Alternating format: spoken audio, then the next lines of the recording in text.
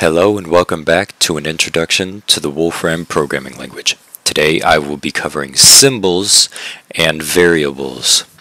Now, every bit of output that the Wolfram programming language gives is a symbol. And to simply evaluate a given cell, which is your line of code or lines of code, you hold shift and hit enter and it'll return your argu or the result as out. To suppress output, simply put a semicolon, and it will not put an output. Or if you need to run multiple bits of code, you can put a semicolon to separate lines of code. Like this, 7 plus 8 is 15, and 2 plus 5 is 7. Even function heads are a symbol that you can enter and it will not panic. I can even query the information on what sine is. And it will tell me sine is the function that gives the sine of z. It also tells me that if I were to place it on a list, that it would distribute to the entries in the list. It is a function for numbers, and I cannot edit this or delete it. I can even put sine squared and it will not panic because it's a symbol. I can even query information on undefined variables or functions even. In this case, just the global variable x is just simply that. There's no definition. The Wolfram programming language also likes to order symbols order it based on highest degree, or excuse me, lowest degree to highest, and I believe in alphabetical order. And in this case, I even a graph is a symbolic output.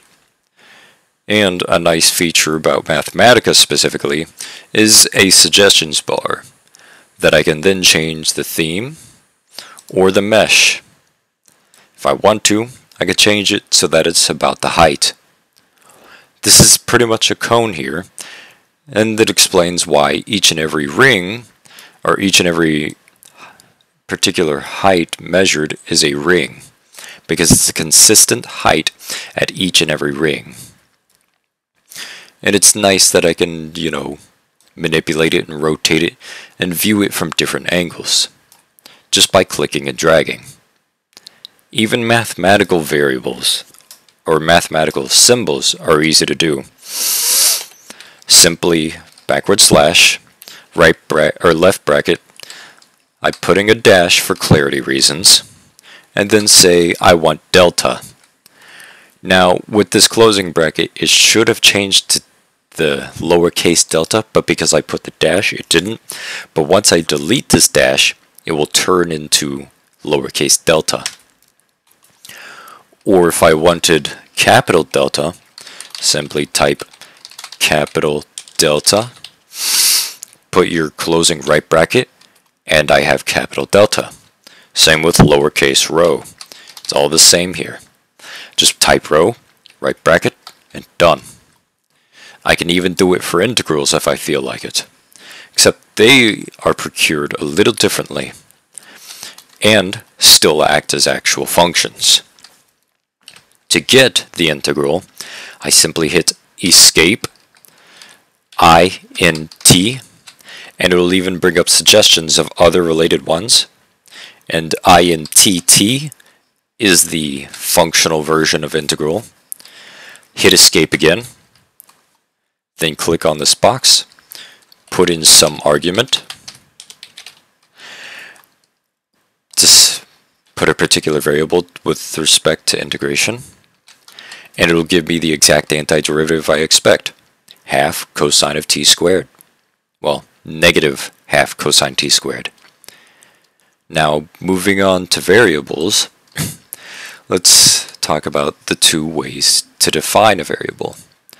I can define it using set or set delayed.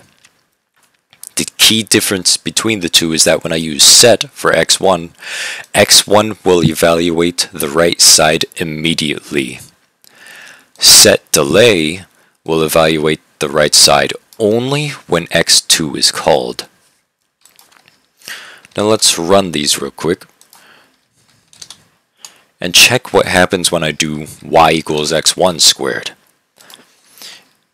It gives 81, 81, 81 because when x1 is called, random integer has already been run once, and x is defined as whatever random integer gave, in this case 9. And then y1 is instantly defined as whatever x1 was, so y1 is equal to 9 squared, or 81. And even in the case y2 is set delayed as x1 squared, I will still get 81 because x1 is still defined as 9. And even in the case y of 3 is equal to x2 squared, I will get something different, but because it was an immediate set, oh, by black magic I still got 9.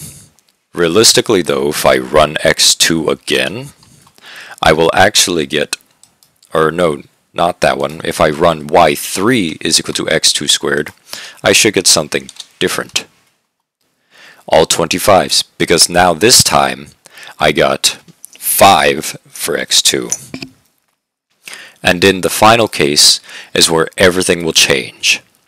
y4 is set delayed as x2 squared, which means it will only evaluate upon call meaning I get a jumbled list of different outputs, all of which are squares of some integer. Anyways, I hope this clarified what symbols and variables in the Wolfram programming language are capable of. Have a great day.